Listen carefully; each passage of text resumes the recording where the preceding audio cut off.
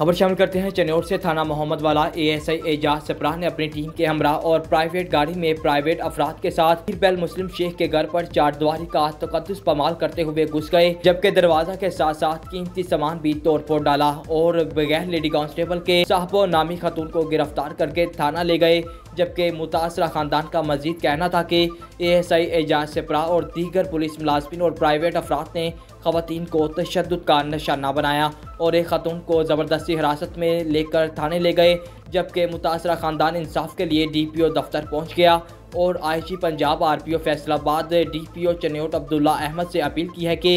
इन गुल्लू बटों के खिलाफ कार्रवाई करते हुए इंसाफ फराहम किया जाए